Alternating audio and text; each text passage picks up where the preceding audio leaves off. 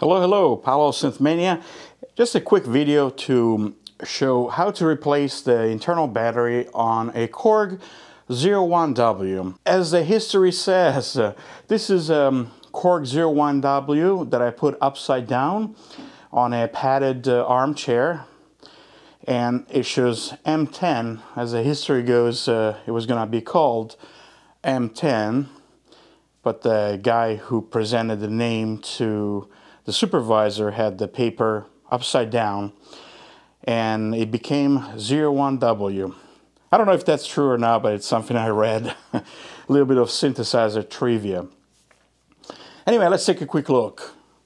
Opening the cover is simple.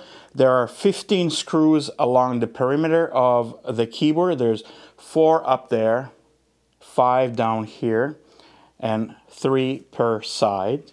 And additionally, there are two other screws, one here and one over here. Once you have removed these 17 screws, you can easily open up the panel. And the battery compartment is right there. And here's a close-up. It's right there by the G of the Korg logo in the back. It's right there. And all you need to do is to pop out the expired battery.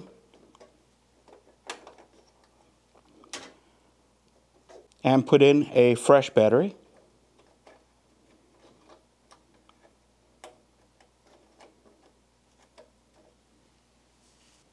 And that way, all your programs and uh, combinations should stay in memory when you power cycle the unit on and off. And then it's just as simple as screwing the panel back on and you're set to go.